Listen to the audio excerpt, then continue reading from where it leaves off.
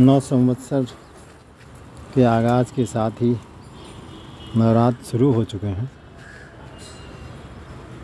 प्रतिपदा तिथि कल रात क्या दस बज के तिरपन नंबर मिनट पे लग चुकी थी।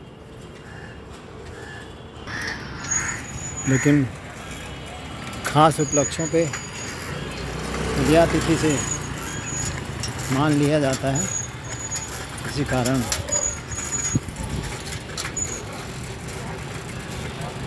घट स्थापना का।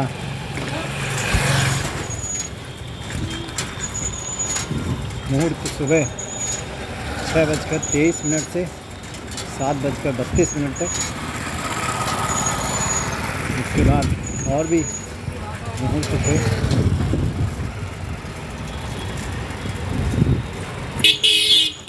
वास्तव में घट स्थापना नवरात्र का एक प्रमुख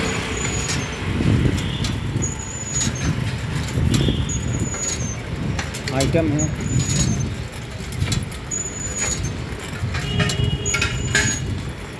नौ दिन तक। घट में जो पवित्र जल होता है, अमृत तुल्य, वो नौमी हवन के बाद पूरे घर में छिड़कने का प्रावधान है।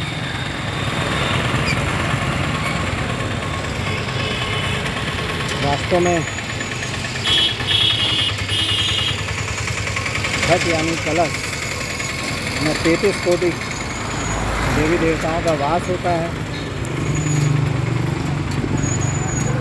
और आज एक बार फिर नौ संवत्सर 2021 2080 में फिर से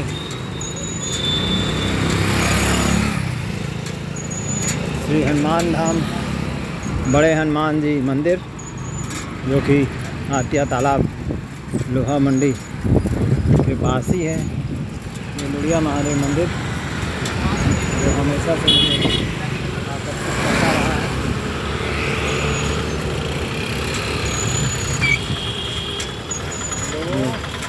राम जानकी मंदिर जाता हुआ रास्ता और ये ये कम चहल पहल। नवरात्र की वजह से लोग व्रत रखते हैं।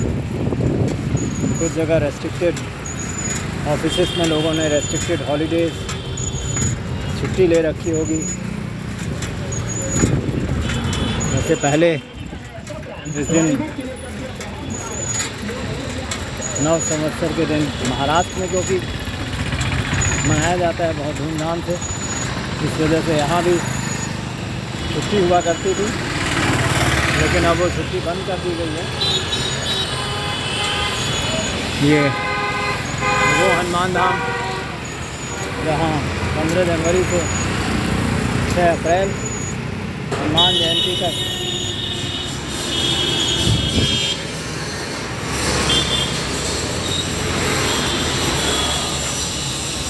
एक लाख पच्चीस हज़ार हनुमान चालीसा के पाठ का संकल्प है। उसी में अपनी आहुति देने के लिए मैं पहुँचता हुआ आज फिर 22 मार्च 2023 यहाँ देखिए पत्थरी की दवा भी मिलती है। हम ले सकते हैं यहाँ से।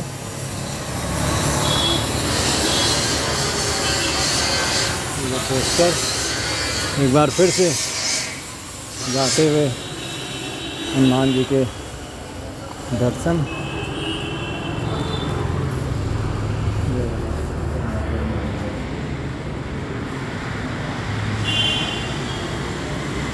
अखंड ज्योति परिक्रमा।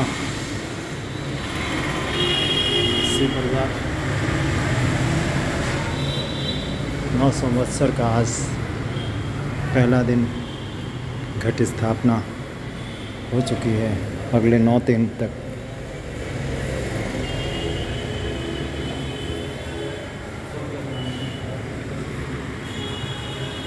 जय बजरंग बली जय बाबा।